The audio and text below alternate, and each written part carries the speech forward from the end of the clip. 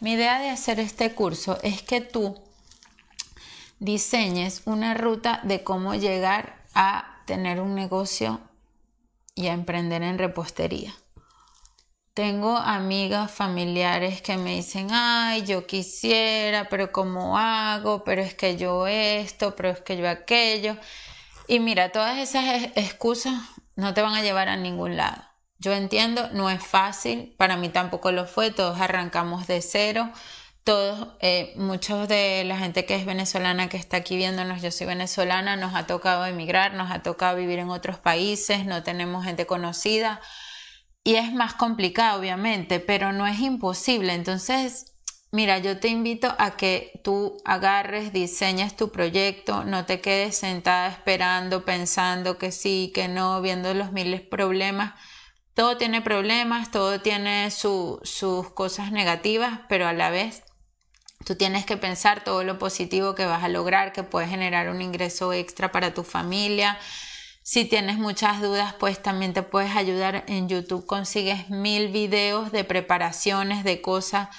Si tienes problemas, por decirte, para, no sé, para cualquier, un tema en específico que tú, por ejemplo, yo no hago fondant, pero si yo quisiera hacer fondant y me gustara, aunque no lo supiese hacer, yo o me inscribiría en un curso de fondant o practicaría eh, viendo videos en YouTube pero lo que te quiero decir es que ahorita hay mil formas de tú aprender. Entonces no te puedes quedar pensando, ay, que sí, bueno, más adelante. No es que tengo los niños pequeños, cuando los niños crezcan, porque yo he pasado por ahí, mis hijos han estado pequeños, ahorita están grandes y porque estén grandes yo no tengo más tiempo. Claro, van al colegio, son más independientes, pero tengo que estudiar más, están en más actividades, tengo que apoyarlos en, el, en, sus estudios, tengo que estar pendiente, quieren salir, o sea, mil cosas, ¿entiendes? Entonces, nunca vas a tener el momento perfecto para emprender.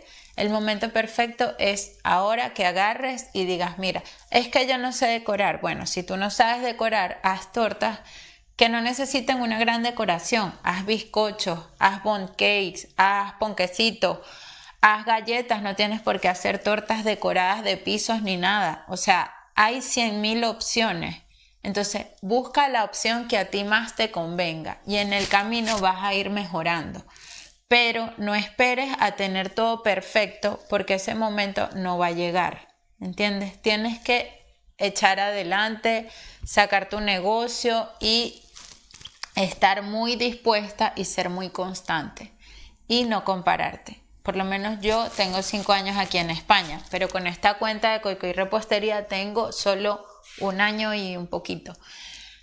Yo ahora dicto cursos, pero también hago tortas, le vendo a negocios, entonces yo no me voy a comparar con eh, otras reposteras que tienen 7, 10 años dando cursos, que son súper especialistas o que han recorrido un camino muy largo que yo todavía no lo llevo. No me puedo comparar con ellas. No te compares con las que tú ves que venden miles de dólares o cientos de dólares. No te puedes comparar con ellas porque tú estás empezando. Cada quien tenemos un camino diferente, pero ya depende de ti que puedas llevarlo a cabo o no. Entonces, mira, yo te digo, realmente todo está en ti.